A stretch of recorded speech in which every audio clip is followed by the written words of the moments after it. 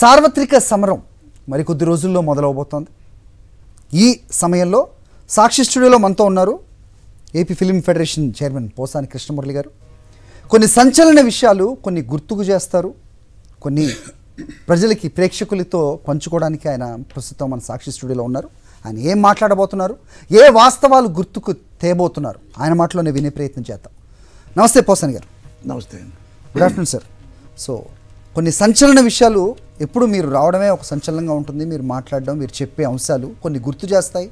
కొన్ని వాస్తవాలు మరుగున పడిపోయిన వాటిని లేపి తట్టి లేపుతాయి. ఇవాళ మీరు ఏం చెప్పబోతున్నారు? అంటే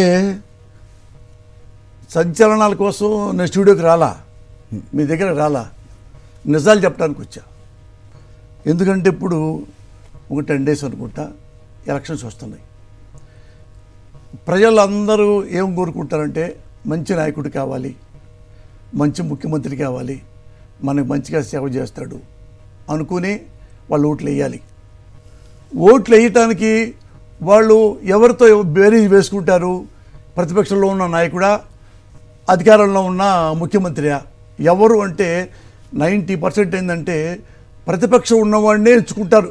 చాలా చాలామంది కానీ ఇక్కడున్న ఆంధ్రప్రదేశ్లో ప్రజలు అధికార పక్షంలో ఐదేళ్ళు ఉన్న జగన్మోహన్ రెడ్డినే కోరుకుంటున్నారు.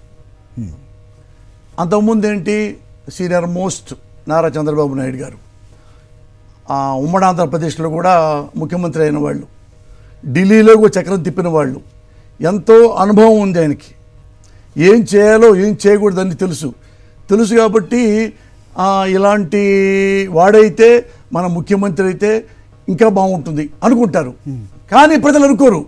ఎందుకంటే నారా చంద్రబాబు నాయుడు అనే వ్యక్తి దుర్మార్గుడు అని ప్రజలకు తెలుసు. మోసగాడు అని ప్రజలకు తెలుసు. వెన్నుపోటుదారుడు అని మీకు తెలుసు. హరి నాకు తెలుసు. ఇండియా మొత్తం తెలుసు. రామారావుని చంపి కబ్జా చేశాడని చెప్పి. ఇప్పుడు దానికి నేను వెళ్ళదలుచుకోవాలా సార్. ఇప్పుడు ఏం జరుగుతుందంటే ఆంధ్రప్రదేశ్ని రెండు మూడు ముక్కలు చేయదలుచుకున్నాడు నారా చంద్రబాబు నాయుడు గారు. మొన్న మీటింగ్ పెట్టుకున్నారు నారా చంద్రబాబు నాయుడు గారు. సార్. టూ రెండు మూడు రోజుల కిందట. అందులో ఎవరు అంటే మా కంబరాయకులు. ఎవరు? అమ్మని రామోజీరావు కమ్మవాడు. రాధాకృష్ణ కమ్మవాడు. టీవీ ఫైవ్ బిఆర్ నాయుడు కమ్మవాడు. వీళ్ళు వీళ్ళ ప్రతినిధులు. ఇంకా వేరే బాగా డబ్బున్న మా కమ్మాళ్ళలో వాళ్ళు. వీళ్ళంతా మీటింగ్ వేసుకుంటే ఎందుకు పిలిచాడో చెప్పాడు చంద్ర చంద్రబాబు నాయుడు. మనము అప్పర్ క్యాస్ట్ వాళ్ళం. అగ్ర కులం మంది. మన్ని ఎస్సీలు ఎస్టీలు బీసీలు మైనారిటీలు చలాయించటం ఏంటి మనని ప్రశ్నించటం ఏంటి? వాళ్ళు ఒకప్పుడు మనం వెళ్తుంటే చెప్పులు కూడా చేతితో పట్టుకొని ఆ పక్కకుండా వెళ్ళేవాళ్ళు మన భూస్వాములు చూసి. ఇప్పుడు ఎదురుగా వచ్చి ఏంటి చంద్రబాబు నాయుడు అయితే ఏంటి అనే లెవెల్కి వచ్చారు. కాబట్టి నెక్స్ట్ ఎలాగైనా సరే నేను ముఖ్యమంత్రి అయి ఎస్సీలకి అంటే మాల సోదరులకు మాదిగ సోదరులకు క్రిస్టియన్ సోదరులకు అండ్ బీసీ సోదరులకు పర్మనెంట్గా ఓటు హక్కు లేకుండా చేయాలి. అయిపోతుంది సగం మ్యాటరు. నెక్స్ట్ అంతా అగ్రవర్ణం. మన క్యాస్ట్ కమ్మ. మన వెనక్కి కూడా అగ్రవర్ణం వాళ్ళు కూడా మనం మేనేజ్ చేయొచ్చు. మీరు అదే సామాజిక వర్గానికి చెందిన వాళ్ళు చెప్తున్నారు ఇవన్నీ. నేను కమ్మోడినా. నేను ముందేం చెప్పుకుంటానంటే proudly I can say Kamma. కానీ నేను మనిషిని అని చెప్పుకుంటాను అరే ప్రామిస్లీ ఏం టెలింగ్ యూ మా వాళ్ళు ఏమన్నా సరే నన్ను కొట్టినా చంపినా కమ్మ వాళ్ళలో ఆణిముత్యాలు ఉన్నారు. Yes diamonds JKC college Jagarlamudi Kuppuswamy Chowdary. ఆయన బాగా డబ్బున్నవాడు. చంద్రబాబు ఆయన కాలి గోటికి సరిపోడు. కానీ ఆయన చిన్న మనిషిలాగా ఒరే అందరు చదువుకోవాలరా కమ్మ వాళ్ళలో పేదవాళ్ళు ఉన్నారా? వాళ్ళు అన్నం కూడా తినేవాళ్ళు లేరు అని కమ్మ హాస్టల్ పెట్టించాడు కుప్పస్వామి చౌదరి హాస్టల్. నేను చదువుకున్నా పేదవాడిగా. మా నాన్న కూలి పెద్ద కాకాని మాది. చుట్టుపక్కల కమ్మాళ్ళందరికీ నేను తెలుసు. ఇలాంటి వాళ్ళు ఉన్నారు. అప్పుడే నాకు ఏమనిపిస్తుందంటే ప్రౌడ్ లైక్ ఎల్సే కమ్మా. ముళ్ళప్పుడు హరిచంద్ర ప్రసాద్ గారు మానవత్వం ఉన్నవాడు నిజాయితీపరుడు న్యాయంగా వ్యాపారం చేస్తూ ఉంటాడు. తగినంత సేవ చేస్తూ ఉంటాడు. Proudly I can say I'm Kamma దేని కమ్మ ఈ కమ్మాలలో ఇంత గొప్పోళ్ళు ఉన్నారని. అందుకనేగా అంతేగాని చంద్రబాబు ఉన్నాడు ప్రౌడ్ ఐ కమ్మ అనలేను. ఇప్పుడు చెప్తున్నా ఇతను తనకి వీళ్ళు అడ్డు వస్తున్నారని చెప్పి ఎస్సీలకు బీసీలకు ఓటు హక్కు లేకుండా చేస్తే ఏంటి? ఎలా సార్ వాళ్ళు ఒప్పుకుంటారా? ఒరే ఒరే మనం చాలా చాలా చేసాంరా ఇందిరాగాంధీ ఎమర్జెన్సీ పెట్టి తోసిపారేసిన బొక్కల్లో కోట్లాది మందిని. దీన్ని ఎట్టా చట్టం చేయాలి? ఎలా విడగొట్టాలి? ఎందుకు మన నుంచి వాళ్ళ దూరం ఇవ్వాలంటే వాళ్ళు మన కమ్మ వాళ్ళు పక్కనే ఉండాలనుకుంటున్నారు. ఒక ఎస్సీలు ఎస్టీలు బీసీలు మన పక్క ఉంటారా? అగ్రవర్ణాల పక్క ఉంటారా? వాళ్ళు మన పక్క ఉంటారా? అంటే పక్కన ఉంచకూడదా మనం ఉన్న చోట ఉండకూడదా? అరే తక్కువ కులం ఎస్సీ తక్కువ కులం ఎట్టుంటారు కమ్మాడు అని భావన. ఇది నేను నేను అంటలేదు హరి క్లిప్పింగ్ ఉందో చూసుకోండి. చంద్రబాబు నాయుడు ఎస్సీ మాలా మాది సోదరుడిని ఎంత అవమానించాడో క్లిప్పింగ్ వేసుకోండి ఉంటే మీకు ఉందా ఉంటే చూపించండి. ఉంటే అవకాశం ఉంటే మాలలుగా ఎస్సీలుగా పుట్టాలనుకుంటారా ఎవరైనా అని చంద్రబాబు నాయుడు గారు అన్నది అందరికీ తెలుసు అన్ని మీడియా సంస్థల దగ్గర ఉంటుంది. మన దగ్గర కూడా ఉంటే ఒకసారి ప్లే చేస్తారా? కోరుకున్న పుట్ల. నువ్వు ఏ కులంలో పుట్టావు నీకు తెలియదు నువ్వు పుట్టాలని కోరుకున్నావా? ఎవరు మాత్రం ఎస్టీ కులంలో పుట్టాలని కోరుకుంటారు? డబ్బులు లేకపోతే అందరూ కూడా సంపన్న వర్గాలనే పుట్టాలని కోరుకుంటారు. లేదంటే అందరూ రాజుల కులంలో పుడితే రాజ్యాన్ని ఆలోచన అనుకుంటారు. కానీ మనం ఏ కోరుకోం.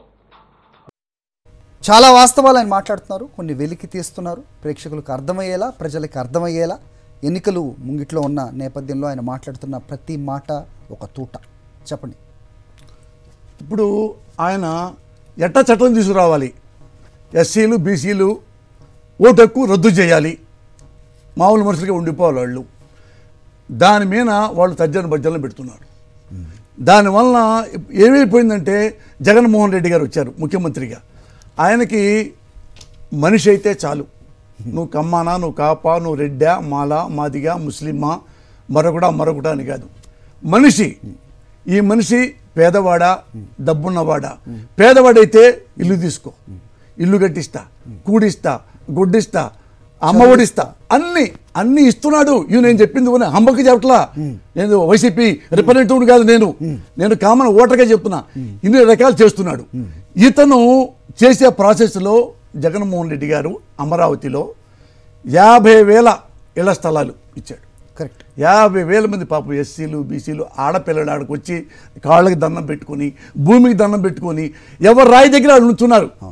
ఈ ఈ సెంటు నాది ఈ సెంటు నాది ఈ సెంటు నాది. ఏ సెంట్ అది ఏ సెంట్ అది కంపు! సెంట్ సెంటు కంపు. ఇదిగో చూడండి. ఇది ఎవరు హెడ్డింగ్ పెట్టి రాశారు ఆంధ్రజ్యోతిలో? రాధాకృష్ణ. కమ్మనాయకుడు. అంటే ఒళ్ళు బలిసి. సార్. ఒళ్ళు బలిసి ఎవరిని తెలుసా? చెప్పా కదా ముందు ఎస్సీలు బీసీలు. మన వాడి కళ్ళల్లో సెంటు కంపు అనమాట అంటే ఎస్సీలు పక్కన ఉంటే వాళ్ళకి సెంటు వాసన ఓ- ఓ కంపు వస్తుందంట వాసన. హరి వాళ్ళకి ఎస్సీలు కానీ పక్కన ఉంటే మాల సోదరులు మాది సోదరులు ఎవరన్నా పక్కన ఉంటే వాళ్ళ కంపు కొట్టుద్దంట. ఆ కంపెనీ ఇదా? ఆ సెంట్ అంటే సెంట్ ఇచ్చారు కదా పేదాడికి జగన్మోహన్ రెడ్డి గారు. ఇస్తే అందుకే ఇతను తట్టుకోలేక. అమ్మా ఇదంతా మా చుట్టుపక్కలంతా మన కమ్మాసి ఉన్నారు కదా. ఇక్కడ యాభై వేల మంది ఉంటే చుట్టుపక్కల మన కమ్మాస్ ఏమైపోవాలి? మాలాంటి కమ్మాళ్ళు ఏమైపోవాలి? డెమోగ్రఫికల్ ఇంబ్యాలెన్స్ ఆ దేర్ యు ఆర్ అది కదా? అది అందు చూడు ఎంత కుళ్ళుగా పోతే సెంటు కంపు. అన్న భూమి కంపు కొట్టుద్ది ఎప్పుడన్నా? భూమాత కంపు కొట్టుద్దా? ఎన్ని కొన్నారు మీరు భూములు? ఈ కంపు దేనికి పెట్టారకున్నా? SC ST. వాళ్ళ కంపు. వీళ్ళు వీళ్ళకి తోలిపారేసి ఇది మనం తీసుకొని మన కమ్మాళ్ళు ఇల్లు కట్టుకోవాలి. ఈయన పాపం ఇల్లు కట్టిస్తానికి మొదలు పెడితే కోర్టుకెళ్ళి స్టే తెచ్చుకున్నారు. అంతే కదా సార్ అడుగడుగునా చేస్తుంది అదే కదా. ఎందుకు? వీళ్ళు కమ్మాళ్ళ పక్క వీళ్ళు ఎస్సీలు బీసీలు మా పక్క ఉంటారా? సార్ నేను అందుకే అన్నాను ఈ మాట. ఏది? ఇతను ఎస్సీలు ఎస్టీలకి ఊటక్కు లేకుండా చేయాలి. చేస్తే ఏమవుద్దిక ఇప్పటిదాకా ఏమి ఇచ్చాడు జగన్మోహన్ రెడ్డి గారు? ఆ ఇళ్ళ స్థలాలు మళ్ళీ తీసేసుకుంటాం. నీకు ఓటక్కు లేదు కాబట్టి. పింఛన్ల మొత్తం తీసేసుకుంటాం. పథకాల మొత్తం తీసేసుకుంటాం. చంద్రబాబు ఇప్పుడు చెప్పింది మొన్న చెప్పింది ఇది. ఈ పథకాలన్నీ క్యాన్సిల్ రా. నువ్వు అనొచ్చు హరి ఏంటంటే ఎట్ట అంత అంత రూతులేసుకుంటాడా అంతేందుకు మీడియా ప్రతినిధులు సాక్షాత్తు డిబేట్ల పరంగా వాళ్ళు చెప్తున్నారు ఇవి ఖచ్చితంగా వెనక్కి లాక్కుంటారు అనేది మీడియా ముఖంగా మాట్లాడే సందర్భాలు కాదు. కొంతమంది ఎవరు పెద్ద మనుషులు అన్నా నాలాంటి ఇప్పుడు కమ్మాడు చెప్పినా కానీ ఏమయ్యా మరి నువ్వు కమ్మాడే ఉండి మన ఒళ్ళు బలిసి మాట్లాడుతున్నావు? అంత పథకాలు ఇస్తే మరి తిరిగి ఎట్లా లాక్కుంటాడు చంద్రబాబు? హౌ డేర్ యూ అట్లా మాట్లాడుతున్నావు సాక్ష్యంలో కూర్చొని. సాక్ష్యం సమాధానం? నా దగ్గర సాక్ష్యం ఉంది. The the great NT Rama Rao. పేదలకి ఇదే ఎస్సీలకు అదే బీసీలకు మాల సోదరులకు మాది సోదరులు పేదవాళ్ళకి వీళ్ళందరికీ రెండు రూపాయలతో కిలో బియ్యం. సంతోషంగా తింటున్నారు. సంతోషంగా తింటున్నారు. రామారావు వెండిపోటు పొడిచాడు. చంద్రబాబు ముఖ్యమంత్రి అయ్యాడు. ఏం చేశాడు ఫస్ట్? ఎవడైతే పేదవాడు ఎవరైతే ఎస్సీలు బీసీలు పేదవాళ్ళు అన్నం తింటున్నారో రెండు రూపాయలు రెండు రూపాయల పథకం కిలో పథకం వెంటనే క్యాన్సిల్. తెలుసా మీకు ఇది? తెలుసా? ఎస్ మరిది అంత పెద్ద మంచి పథకమే ఇసిరి ఏమొచ్చింది? జగన్మోహన్ మన ఈయన చంద్రబాబు నాయుడికి. పేదవాళ్ళు రెండు రూపాయలు బియ్యం అన్నం తింటే నువ్వెందుకు పథకం క్యాన్సిల్ చేసావు అన్నం తినే పథకాన్ని క్యాన్సిల్ చేసిన వాడివి నువ్వు జగన్ మోహన్ రెడ్డి గారి కంటే ఎక్కువ పథకాలు ఇస్తావా? ఎక్కువ డబ్బులు ఇస్తావా? ఇదేమన్నా బిజినెస్ అనుకున్నావా? రాజకీయం పాలిటిక్స్ అంటే బిజినెస్ కాదు. అది నారా చంద్రబాబు నాయుడికి. రాజకీయం అంటే నథింగ్ బట్ సర్వీస్ ఇది జగన్మోహన్ రెడ్డి గారికి. రెండు వేల పద్నాలుగులో కూడా ఆయన మారిపోయానని చెప్పారు. అంటే ఇప్పుడు కూడా ఏమన్నా మారారేమో అనుకోవచ్చా? పని? సార్ నోటికాడ రెండు రూపాయల బియ్యాన్నే వాడు నోట్లోంచి లాగేసినోడు వాడు పెద్ద పథకాలు ఇస్తాడా? మీరు అనుకోవచ్చు ఏదంటే సాక్ష్యం ఉంది నీ దగ్గర ఈ, కమ్మాళ్ళంతా కూర్చొని చంద్రబాబు వీళ్ళు కూర్చొని ఎస్సీలకి ఎస్టీలకి ఓటు తీసేస్తున్నాను సాక్ష్యం ఉందా? ఉంది. మీరు కావాలంటే చంద్రబాబుని నన్ను ఇదే డాష్లో పక్క పక్క కూర్చోబెట్టండి. లేదా నేనే విజయవాడ వస్తా టీడీపీ ఆఫీస్కి వస్తా చంద్రబాబుని ఇద్దరు పక్క పక్క కూర్చుంటా. సాక్ష్యం చెప్పబోయా? ఆ ఇక ఎస్సీలకి బీసీలకి ఓటెక్కు తీసేద్దామని. సాక్ష్యం నా దగ్గర ఉంది. దాని ముందు రెండు సాక్ష్యాలు నేను అడుగుతున్నా. ఎవరిని? నారా చంద్రబాబు నాయుడు గారిని. నారా చంద్రబాబు నాయుడు గారు పబ్లిక్లో ది గ్రేట్ ఎవరు? మన మోడీ గారు. మోడీ గారు హాలెస్ట్ మ్యాన్ టాలెస్ట్ మ్యాన్. ఉన్న భారతదేశంలో ఉన్న రాజకీయ నాయకుల్లో అతి గొప్పవాడు మోడీ. ఆ మోడీని మనవాడు ఏమన్నాడు తెలుసా? అంత గొప్పవాడిని. ఏమన్నాడు తెలుసా? చంద్రబాబు నాయుడు. మోడీ హంతకుడు రక్త పిపాసి. మోడీ కాదు కేడి. ఇతను రెండు వేల ముస్లిముల్ని నరికి నరికి చంపాడు అని చెప్పాడు. పబ్లిక్లో తెలుసు మీ క్లిప్పింగ్స్ కూడా ఉన్నాయి. నేను అన్నాను ఆ సాక్ష్యం నాకు ఏమంటున్నా నరేంద్ర మోడీ గారు రెండు వేల మంది ముస్లిమ్స్ని ఎప్పుడు చంపాడు? ఎక్కడ చంపాడు? ఎన్ని ఎన్ని తలకాయలు నరికాడు ఎన్ని చేతులు నరికాడు ఆ శవాలను ఎక్కడ దాచిపెట్టాడు మోడీ? ఆ సాక్ష్యం చెప్పనండి. ఈ ఈ ఈ ఓటు హక్కుది నేను చెప్పేస్తా రద్దుది. ఇంకో చిన్న సాక్ష్యం చాలు. ఈ మధ్యకాలంలో అన్ని ఇళ్ళు తిరుగుతూ ఏది ఇప్పుడు ఎలక్షన్లు కదా ఇల్లు తిరిగి ఈ కమ్మాస్ కొంతమంది మా వాళ్ళంతా కలిపి మా వాళ్ళు కలిపి ఏమన్నారు తెలుసా? జగన్మోహన్ రెడ్డి గారు రైతులకి పొలాలు తీసుకుంటున్నాడు. దానికి పేదల స్థలాలు తీసుకుంటున్నాడు. జగన్మోహన్ రెడ్డి గారికి ఓటేం మాకండి నేను వచ్చాక మీకు ఇస్తా. జగన్మోహన్ రెడ్డి గారు రైతులు పొలాలు తీసుకుంటాను బలవంతంగాని ఎప్పుడు చెప్పాడు. ఎక్కడ చెప్పాడు? ఎవరితో చెప్పాడు? సాక్ష్యం చెప్పను. రైట్ తేలాల్సిన అంశాలు చాలా ఉన్నాయి సార్. నిజంగా మీరు అన్నదానికి కొనసాగింపుగా కూడా బీసీలు అసలు ఒక పదవిలో ఉండడానికి న్యాయమూర్తులుగా ఉండడానికి కూడా పనికిరారు అని సాక్షాత్తు ఆయన కేంద్రానికి లేఖ రాసింది కూడా మీ చేతిలో ఒక్క ముక్క చెప్తా, ఒక్క ముక్క చెప్తా. చేద్దాం. ఎస్ ఒక్క ముక్క చెప్తా. ఇది పక్క టైం లేదు కాబట్టి ఒక ముక్క చెప్తా. అమరావతిలో భూములు లాక్కున్నారన్నారు కదా. అమరావతిలో భూములు ఎవరు కొన్నాయో చెప్పు. జగన్మోహన్ రెడ్డి గారికి ఒక్క ఇల్లు తప్ప ఒక ఎకరం కొల్ల. చంద్రబాబు నాయుడు వాళ్ళ కంపెనీ పేర వాళ్ళ ఆవిడ పేర వాళ్ళ కోడల పేర అన్ని ఎక్కకపోతే అక్కడ ఎరా ఎకరాల పొలాలు కొనేశారు. ఎవడో మోసగాడు. ఎవడ మోసగాడు చెప్పండి. మిమ్మల్ని అడుగుతున్నా ఎవడో మోసగాడు. ఒక్క ఎకరం కూడా కొనలేదే వైజాగ్లో కూడా కొనలేదే జగన్మోహన్ రెడ్డి గారు. ఇతను కొన్నాడే భూములు లాగేసుకున్నారు కదా పెనుమో పెనుమాక భూములు రైతుల భూములు ఈయన కదా లాగేసుకుంది. కాబట్టి రైతులు వెళ్ళిపోయి చంద్రబాబు మీద కేసు పెడితే చంద్రబాబుని ఆపారు కోర్టు వాళ్ళు రైతులు భూములు తీయడానికి వీల్లేదని. అతను దొంగ. అతను దొంగ. రైతులు లాక్కోపోయింది అతనే. జగన్ మన చంద్రబాబు నాయుడే. చూసుకోండి. హిస్టరీ చూసుకోండి. రైట్ సార్ ఖచ్చితంగా చూసే ప్రేక్షకులు కానీ వేసే ఓటర్ కానీ ఖచ్చితంగా ఈ నిజాలు వాస్తవాలు గ్రహిస్తారు. ఎవరు మంచి చేశారో వాళ్ళనే ఎంచుకుంటారు అనేది సో మీ మాటలో అర్థమవుతుంది. అదే వాస్తవంగా కూడా కనిపిస్తుంది. మా నమ్మకం నువ్వే జగన్. మా నమ్మకం నువ్వే జగన్. మా నమ్మకం నువ్వే జగన్. మా నమ్మకం నువ్వే జగన్.